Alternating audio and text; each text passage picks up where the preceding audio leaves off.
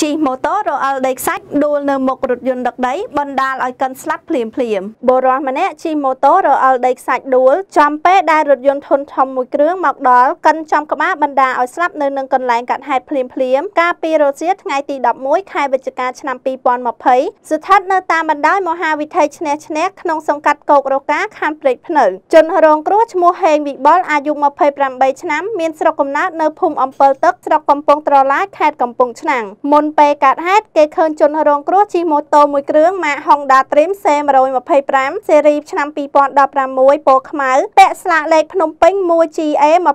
2754ធ្វើដំណើរតាមបណ្ដោយមហាវិថីឈ្នះឈ្នះក្នុងទិសដៅពីកើតទៅលិចដោយប្រើលបឿនលឿន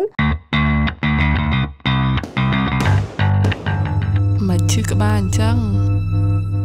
បូដេនមិចបំបត្តិឈឺក្បាលយ៉ាងឆាប់រហ័ស ប៉ដែនមិចបំបត្តិឈឺក្បាលប៉លប៉លប៉លប៉ដែនមិចបំបត្តិឈឺក្បាលរោគប្រកាំងឆាប់រហ័សនិងប្រសិទ្ធភាពខ្ពស់លុះមកដល់ត្រង់ចំណុចកាត់ហេតុស្រាប់តែចៃដន្យរអល់ដីខ្សាច់បណ្ដាឲ្យដួលបោកក្បាលទៅនឹងថ្នល់ស្របពេលនោះមានរថយន្តដឹកដីមួយគ្រឿងមិនចាំម៉ាកនិងស្លាកលេខបានមកដល់ក៏កិនចំក្បាលបណ្ដាឲ្យបែកក្បាលធ្លាយខួរស្លាប់ភ្លាមភ្លាមចំណែកឯរថយន្តបង្កត្រូវបានបើកកិច្ចខ្លួនបាត់ស្រមោលនាងខ្ញុំសុផានិតពី KBN News